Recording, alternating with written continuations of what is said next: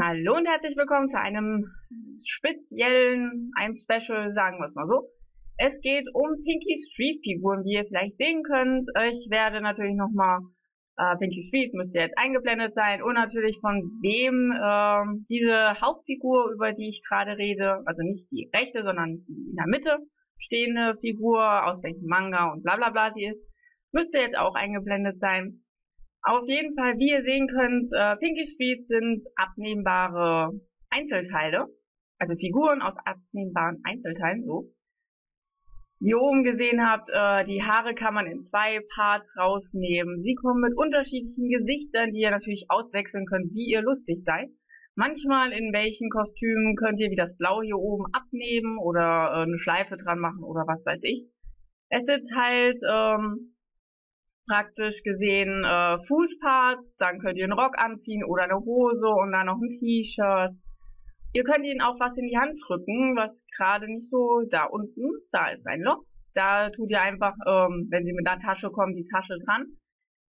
Traurig leider Gottes ist, dass sie nicht mehr hergestellt werden. Ähm, ein paar Basic Packs, Pinky Street Figuren, hatte ich ja schon gesagt, sie sind aus ähm, Plastik wurden von Baby Sue designt und herausgegeben von Vans Project.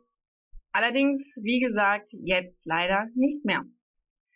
Wie ihr hier auch sehen könnt, Einzelteile oben Kopf rein. Ähm, es gibt auch Winterschuhe, Sommerschuhe, Sommerbekleidung. Hier werde ich, äh, das im Übrigen ist auch wieder von dem einen Manga, den ich gerade wieder einblende, wie ich mich kenne. Die Schuhe sind nicht von ihr richtig, sondern es sind andere Schuhe. Man kann natürlich auch solche Limited, denn sie gehört eher zu den limitierten Auslagen, natürlich auswechseln. Wie ihr sehen könnt, äh, sie ist mein kleiner Liebling. Warum auch immer. Nein, ich mag sie wirklich sehr gerne. Ich musste nur das Gesicht austauschen und die andere Schuhe geben.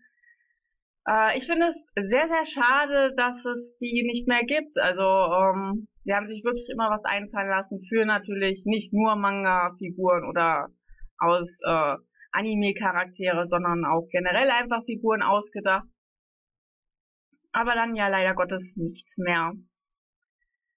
Wie ihr sehen könnt, äh, meine limitierte Ausgabe, die man immer noch bei eBay oder Amazon oder sonst irgendwas kriegen kann, kam mit ganz vielen äh, Karten, umfassenden Karten. Nicht nur in Pinky Street Form, sondern auch, wie ihr gerade eben gemerkt habt, in normaler Form. Hier könnt ihr es nochmal sehen, Pinky Streeto. Äh, ja, das sind die Pinky Street Figuren, Umzeichnungen, finde ich sehr süß gemacht. Bin ich auch heilfroh, dass sie damit kam. Ich habe zwei limitierte, einfach nur weil die zwei mir am besten gefallen haben, aber äh, ihr könnt euch gerne mal umsehen. Sie werden halt nicht mehr hergestellt, deswegen sind sie teurer wie damals. Also ähm, als ich sie angefangen habe zu sammeln, gab's die halt äh, neu und da waren sie noch nicht ganz so teuer wie heute. Das hier ist ein kleines Heftchen. Schlagen wir mal auf. Ja, ja, ja. Ist ja egal wie rum. Na. Hier seht ihr äh, Möglichkeiten, wie ihr mit denen umgehen könnt, dass ihr sie halt gestalten könnt, wie ihr das wollt.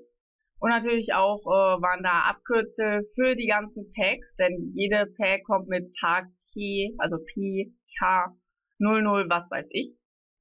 Hier nochmal ein paar Bilder, äh, ja, es wird beschriftet. Wer Japanisch lesen kann, ist klar im Vorteil bei solchen Heftchen, ist ja logisch.